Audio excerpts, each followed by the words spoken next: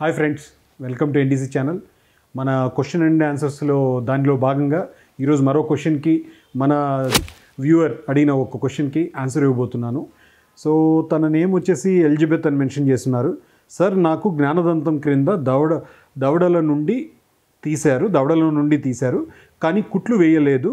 దీనివల్ల నాకేమైనా ఇబ్బంది కలుగుతుందా? ఫస్ట్ ఎలిజబెత్ గారు పాయింట్ ఏంటంటే దవడ మీకు ఏదైతే మీకు జ్ఞానదంతం ఉందో దాని పొజిషన్ ఎలా ఉందో మనకు తెలియదు కానీ పొజిషన్ బట్టి అది ఎంత లోపలికి వెళ్ళింది అనేది దాన్ని బట్టి తీస్తారు.